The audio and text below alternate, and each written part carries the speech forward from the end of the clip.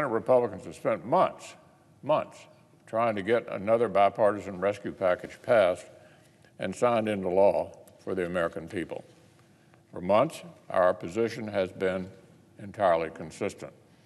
We want to reach agreement on all the areas where compromise is well within reach, send hundreds of billions of dollars to urgent and uncontroversial programs, and let Washington argue over the rest later.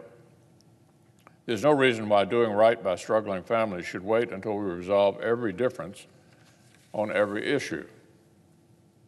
But unfortunately, both Speaker Pelosi and the Democratic leader have been equally consistent, and they don't think Congress should do anything at all, anything, unless they get to cash out a far left ideological wish list, including things with zero relationship to the present crisis. They've continued to insist that congressmen pass their so-called HEROES Act or do nothing at all.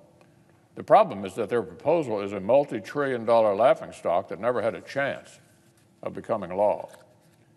Let's recall what Speaker Pelosi's own members said when she first released this proposal. Quote, I think the HEROES Act went too far. It got loaded up with a bunch of political wish list things. Quote, this is Washington politics at its worst, a partisan wish list.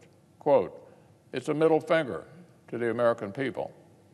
These are all rea reactions, Madam President, of House Democrats. And no wonder, because here are just some of the demands the Speaker will not drop. A massive tax cut, specifically for wealthy people in blue states.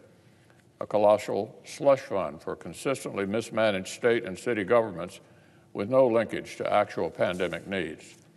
These things are included, but they managed to completely leave out, listen to this, leave out entirely any new funding for a second round of the job-saving Paycheck Protection Program, something we made sure to include in every Republican offering. They want to spend $3 trillion, but couldn't find one cent, one cent of new money for the job-saving program that has kept small businesses afloat from coast to coast. Oh, and by the way, because the far left decided in the summertime they didn't much like the men and women of law enforcement anymore, between the first and second versions of this proposal, the Speaker literally took out, listen to this, took out hundreds of millions of dollars for hiring, equipping, and training local law enforcement. I guess by their account, the police don't count as heroes any longer. By playing all or nothing hardball with a proposal this radical, our colleagues have thus far guaranteed that American workers and families get nothing at all. The pace of our economic recovery and the promise of vaccines on the horizon give us reasons for major hope. But we're nowhere near, nowhere near out of the woods yet. Vaccines will need to be distributed nationwide and quickly. Republicans' targeted proposals provided billions of dollars to make that happen, but Democrats blocked it. The PPP has helped millions of American workers and small businesses hang on thus far. But now, in the home stretch, they need more help. Republicans' targeted proposal would have renewed that lifeline for the hardest hit small businesses, but again, Democrats blocked it. So think about it, Madam President. We moved heaven and earth and spent mountains of money to help workers keep their jobs and help small businesses keep the lights on from the springtime all the way up to now.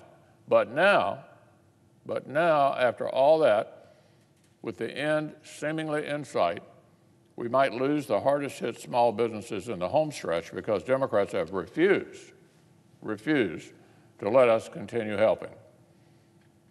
We kept family businesses alive for months and months, only to see some of them fail now.